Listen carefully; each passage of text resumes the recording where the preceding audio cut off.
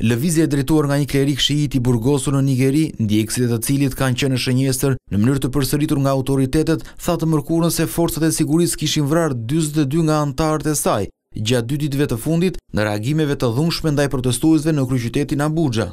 Forcat e sigurisë hapën zjarr me municionin ndaj anëtarëve të Lëvizjes Islamike të Nigerisë, të cilët kishin marshuar me qindra për të kërkuar lirimin e liderit të tyre, Ibrahim Zakzai, i burgosur që nga viti 2015 kur ushtria vrau qindra ndjekës të tij në kompleksin dhe xhaminë që drejtonte. Lëvizja Islamike përditësoi të dhënat e saj mbi vdekjet nga dhuna e dy ditëve të mëparshme, në 42, nga një shifër prej më shumë se 25 personash që kishte qarkulluar më parë.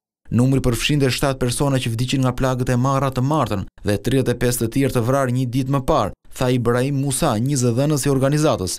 Të hënën ushtria hapi zjarr mbi protestuesit në periferi të Abuxhas. Të martën policia qëlloi ndaj protestuesve në qendër të kryeqytetit, duke lëshuar një deklaratë më vonë atë ditë, ku tha se katërqind anëtarë të Lëvizjes Islamike u arrestuan.